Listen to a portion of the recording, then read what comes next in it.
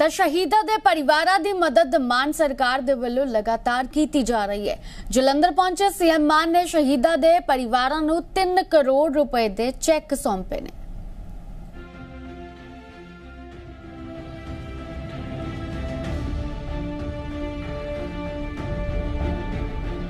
ਪੰਜਾਬ ਸਰਕਾਰ ਵੱਲੋਂ ਆਪਣੇ ਵਾਅਦੇ ਮੁਤਾਬਕ ਸ਼ਹੀਦਾਂ ਦੇ ਪਰਿਵਾਰਾਂ ਨੂੰ ਸਹਾਇਤਾ ਰਾਸ਼ੀ ਵੰਡੀ ਜਾ ਰਹੀ ਹੈ।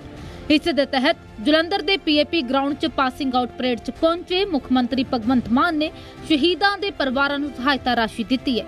ਸ਼ਹੀਦਾਂ ਦੇ ਪਰਿਵਾਰਾਂ ਨੂੰ 3 ਕਰੋੜ ਰੁਪਏ ਦੇ ਚੈੱਕ ਸੌਂਪੇ ਗਏ ਨੇ। ਮੁੱਖ ਮੰਤਰੀ ਨੇ ਨਵਾਂ ਸ਼ਹਿਰ 'ਚ ਸ਼ਹੀਦ ਹੋਏ ਏਐਸਆਈ ਕੁਲਦੀਪ ਸਿੰਘ ਦੇ ਪਰਿਵਾਰ ਨੂੰ 2 ਕਰੋੜ ਰੁਪਏ ਤਾਂ ਕਪੂਰਥਲਾ 'ਚ ਡਿਊਟੀ ਦੌਰਾਨ ਫੌਤ ਹੋਣ ਵਾਲੇ ਏਐਸਆਈ ਮਲਕੀਤ ਸਿੰਘ ਨੂੰ 1 ਕਰੋੜ ਰੁਪਏ ਦੀ ਸਹਾਇਤਾ ਰਾਸ਼ੀ ਸੌਂਪੀ। ਤਿੰਨ ਸਿਖਲਾਈ ਕੇਂਦਰ ਜਿਹੜੇ ਪੀਆਰਟੀਸੀ ਜਹਾਨ ਖੇਲਾਂ ਆਈਐਸਟੀਸੀ ਕਪੂਰਥਲਾ ਤੇ ਆਈਟੀਸੀ ਪੀਏਪੀ ਜਲੰਧਰ, ਇਹਦੀ ਸਿਖਲਾਈ ਪੂਰੀ ਕਰ ਚੁੱਕੇ 2999 ਜਵਾਨਾਂ ਦੀ। ਇਹ ਫਸਟ ਟਾਈਮ ਹੋਇਆ ਕਿ 2999 ਜਵਾਨਾਂ ਦੀ ਤਿੰਨ ਸੈਂਟਰਾਂ ਦੀ ਜਿਹੜੀ ਇਕੱਠੀ ਪਰੇਡ ਹੋ ਰਹੀ ਹੈ। ਸੋ 2999 ਦੇ ਵਿੱਚੋਂ 1901 ਲੜਕੇ ਨੇ ਤੇ 1098 ਸਾਡੀਆਂ ਭੈਣਾਂ ਨੇ। ਮਹਿਲਾ ਪੁਲਿਸ ਹੈ। ਤਾਂ ਉੱਥੇ ਹੀ ਮੁੱਖ ਮੰਤਰੀ ਭਗਵੰਤ ਮਾਨ ਨੇ ਕਿਹਾ ਕਿ ਸੜਕ ਸੁਰੱਖਿਆ ਫੋਰਸ ਨੂੰ ਲੈ ਕੇ ਵੀ ਵੱਡੇ ਐਲਾਨ ਕੀਤੇ ਗਏ।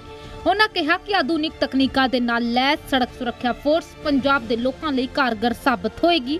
ਅਸੀਂ ਪੰਜਾਬ ਦੀ ਪੁਲਿਸ ਨੂੰ ਨੰਬਰ 1 ਪੁਲਿਸ ਬਣਾ ਰਹੇ ਹਾਂ। ਸੋ ਅਸੀਂ ਕਿਹਾ ਵੀ ਇੱਕ ਪੁਲਿਸ ਹੀ ਇਦਾਂ ਦੀ ਰੱਖੀਏ, ਜਿਹੜੀ ਸੜਕ ਤੇ ਰਵੇ, ਉਹਨਾਂ ਕੋਲੇ ਸ਼ਾਨਦਾਰ ਜਿਹੜੀ ਅੱਜ ਸਭ ਤੋਂ ਤਕੜੀ ਜਿਹੜੀ ਸਭ ਤੋਂ ਵੱਧ ਹਾਰਸ ਪਾਵਰ ਦੀਆਂ ਗੱਡੀਆਂ ਦੇਵਾਂਗੇ ਉਹਨਾਂ ਨੂੰ, ਉਹਨਾਂ ਦੇ ਉਹਨਾਂ ਦੇ ਵਿੱਚ ਉਹਨਾਂ ਕੋਲੇ ਫਸਟ ਏਡ ਦਾ ਸਮਾਨ ਹੋਊਗਾ ਗੈਸ ਕਟਰਸ ਹੋਣਗੇ, ਉਹਨਾਂ ਕੋਲੇ ਗੱਡੀਆਂ ਨੂੰ ਕੋਈ ਟਰੱਕ ਖਰਾਬ ਹੋ ਗਿਆ, ਕੋਈ ਗੰਨੇ ਵਾਲੀ ਟਰਾਲੀ ਪਲਟ ਗਈ, ਉਹਨਾਂ ਨੂੰ ਚੱਕ ਕੇ ਸਾਈਡ ਤੇ ਕਰਨ ਦਾ ਉਹਨਾਂ ਦਾ ਸਾਰਾ ਹੋਊਗਾ ਪ੍ਰਬੰਧ। ਹਰ 30 ਕਿਲੋਮੀਟਰ ਬਾਅਦ ਤੁਹਾਨੂੰ, ਹਰ 30 ਕਿਲੋਮੀਟਰ ਦੇ ਰੇਡੀਅਸ 'ਚ ਇੱਕ ਐਸਐਸਐਫ ਦੀ ਸ਼ਾਨਦਾਰ ਗੱਡੀ ਤੇ ਬਹੁਤ ਸ਼ਾਨਦਾਰ ਵਰਦੀ ਉਹਦੀ ਸਿਲੈਕਟ ਕੀਤੀ ਹੈ ਸਾਡੇ ਜਿਹੜੇ ਪੰਜਾਬ ਪੁਲਿਸ ਨੇ। ਉਹ ਤੁਹਾਨੂੰ ਜਵਾਨ ਉੱਥੇ ਮਿਲਣਗੇ, ਜਾਨਾਂ ਬਚਾਉਂਦੇ। ਜੇ ਆਪਾਂ 50% ਵੀ ਇੱਕ ਸਾਲ 'ਚ ਕਾਮਯਾਬੀ ਹੋ ਗਈ, ਸਮਝ ਲਓ 2500 ਬੰਦੇ ਦੀ ਜਾਨ ਬਚਾ ਲਈ, ਸਮਝ ਲਓ 2500 ਸੋ ਇਸ ਤੋਂ ਵੱਡਾ ਪੁੰਨ ਵਾਲਾ ਕੋਈ ਕੰਮ ਨਹੀਂ ਹੋਊਗਾ। ਸੋ ਮੈਂ ਇਸ ਮੌਕੇ ਤੇ ਜਿੱਥੇ ਵਧਾਈ ਵੀ ਦਿੰਨਾ, ਉੱਥੇ ਨਾਲ ਉਮੀਦ ਵੀ ਕਰਦਾ, ਕਿਉਂਕਿ ਪੁਲਿਸ ਨੂੰ ਅਪਡੇਟ ਕਰਨਾ ਸਾਡਾ ਫਰਜ਼ ਹੈ, ਕਿਉਂਕਿ ਜਿਹੜੇ ਗੈਰ ਸਮਾਜਿਕ ਤੱਤ ਨੇ, ਸ਼ਰਾਰਤੀ ਅਨਸਰ ਨੇ, ਉਹ ਜਿਹੜੇ ਨੇ ਉਹ ਨਵੇਂ-ਨਵੇਂ ਤਰੀਕੇ ਕ੍ਰਾਈਮ ਦੇ ਕੱਢਦੇ ਆ, ਤਾਂ ਉਹਨੂੰ ਕਾਊਂਟਰ ਕਰਨ ਵਾਸਤੇ ਸਾਡੇ ਕੋਲੇ ਉਸ ਤੋਂ ਵੀ ਨਵੇਂ ਚਾਹੀਦੇ ਆ।